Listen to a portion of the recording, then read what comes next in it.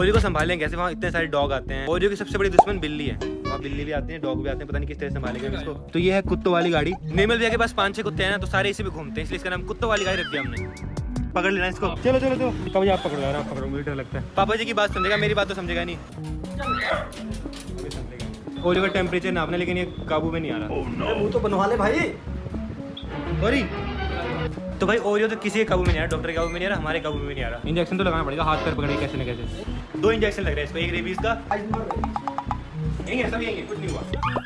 इसको आदत नहीं है ना तीन इंजेक्शन लगे। ये लगाना पड़ा ये देखो। तो भी ओरियो का वेट किया ये सिर्फ़ नौ किलो का है सिर्फ़ नौ किलो का अभी घर जाके मस्त होएगा है ना? सोएगा ना घर जाके इससे मिलो इसका नाम है ब्राउनी और देखो ओरियो के सामने है। ओरियो कुछ भी नहीं कर रहा भाई। नहीं तो पाँच सब्सक्राइबर आ गए हमारे। ओरियो से मिलाते हैं सब्सक्राइबर्स को। हेलो भाई यार, बहुत टाइम लग गया। अब हमको ओरियो का लाइसेंस बनाना पड़ेगा डॉग का लाइसेंस होता है तो वो बनवाना है हमको। उसके बिना हम डॉग को नहीं रख सकते, क्योंकि डॉग का लाइसेंस होना चाहिए ना। भाई डॉक्टर से भी नहीं संभल रहा था तो।